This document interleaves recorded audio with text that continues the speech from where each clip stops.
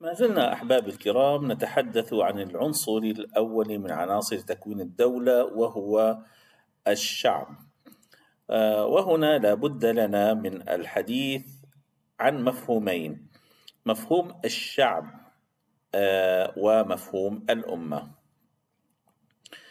مفهوم الشعب في مصطلح القانون الدولي كما ذكرنا آنفا هو مجموعة من السكان الذين يعيشون في أرض معينة ويخضعون لسلطة محددة وبغض النظر عن انتمائهم الديني أو القومي أو العرقي أو اللوني أو اللغوي إلى غير ذلك. والرابطة التي تربط بين أفراد هذا الشعب هي رابطة قانونية سياسية وتسمى رابطة الجنسية. تمام آه ما هي الأمة؟ إذا هذا الشعب الأمة الرابط الذي يربط بين أفراد أفراد الناس هو آه رابط الدين فنقول الأمة الإسلامية الأمة المسيحية الأمة اليهودية أو اللغة فنقول الأمة العربية الأمة التركية الأمة الفارسية تمام؟ آه الدولة الواحدة قد تتكون من أمم مختلفة ومن ديانات مختلفة. مثل مثلا الهند. الهند تحتوي على آه، جزء من الأمة الإسلامية والأمة الهندوسية والأمة السيخية ومثل أيضا آه، الاتحاد الروسي الحالي آه، يحتوي الأمة الروسية والأمة التركية والأمة آه، المغولية. هذه كلها مثل الصين حاليا فيها مجموعة من الأمم منها آه، أمة خوي وأمة خاي والويغور وغيرهم من الأمم. آه، إذا الدولة قد تحتوي على عدد من الأمم والأمة قد تتوزع على عدد من الأقطار. مثل الأمة العربية آه، تتوزع الأمة العربية على 23 أو 22 دولة أو أكثر. والأمة الإسلامية تتوزع على 57 دولة مستقلة وهناك آه، أجزاء من العالم الإسلامي محتلة من قبل الاحتلال الروسي والاحتلال الصيني.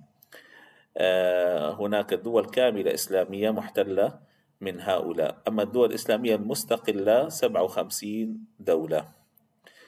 آه، الأمة مع لا تعتبر شخصا من أشخاص القانون الدولي لأنها غير خاضعة للقانون الدولي لعدم تمتعها بالشخصية القانونية. آه، من الملاحظات لا يشترط القانون الدولي عدد معين للسكان. فمثلا الصين فيها مليار وثلاثمائة مليون إنسان وهي دولة واحدة. الهند مليار ومئتين مليون إنسان دولة واحدة. بينما دولة كاتوفالو فيها 12 آه، ألف إنسان. ودولة موناكو آه، عدة آلاف. دولة ناورو أصغر دولة في جزيرة.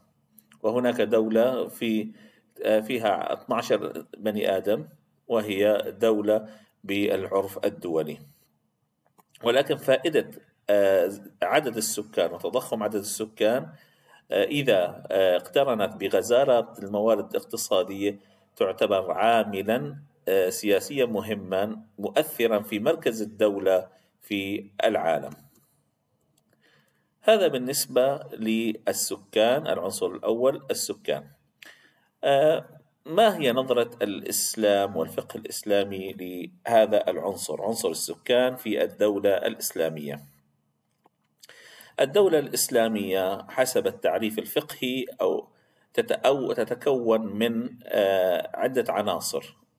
تتكون من أمة الإسلام وهم المسلمون وتتكون من الذم من الذميين وهم آه، الغير مسلمين الذين يحملون الجنسية الإسلامية والمستأمنون وهم الأجانب الذين يدخلون إلى آه، البلاد الإسلامية بفيزا. تمام؟ أو نسميه في الشريعة بعقد أمان. آه، المسلمون والذميون يعتبروا شعب دار الإسلام ويتمتعون بالجنسية الإسلامية. إلا أن الذميين لا يعتبرون جزءا من الأمة الإسلامية.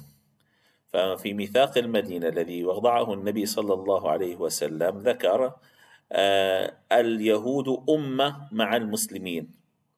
فالمسلمون أمة واليهود أمة.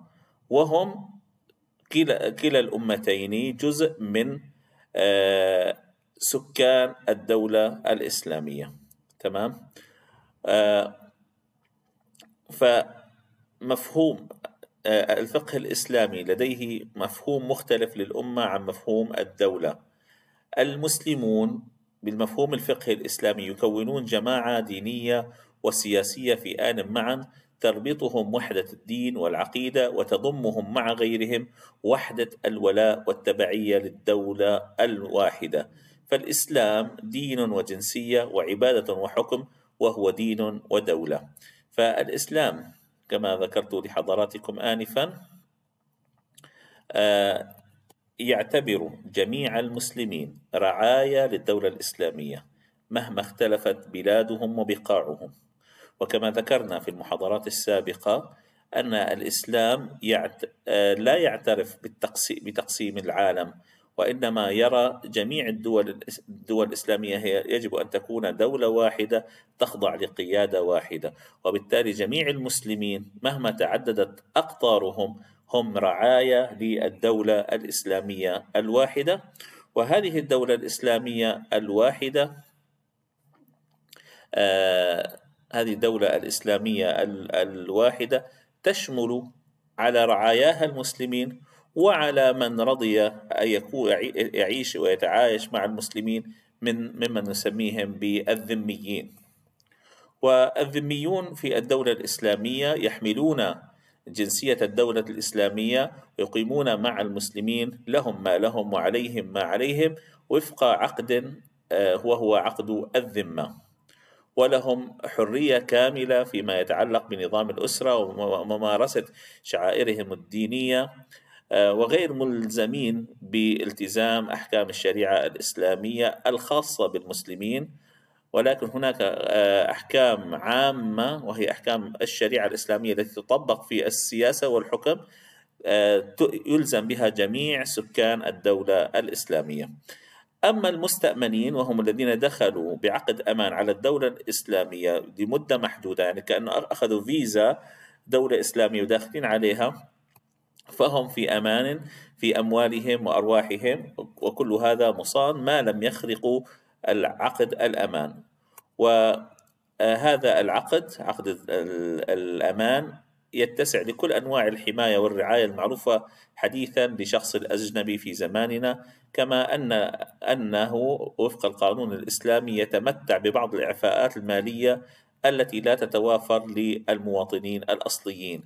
كما أن الأمان في الإسلام ليس مقتصر على آه، ولي الأمر بل يتعداه إلى كل مسلم مختار برقابة ولي الأمر.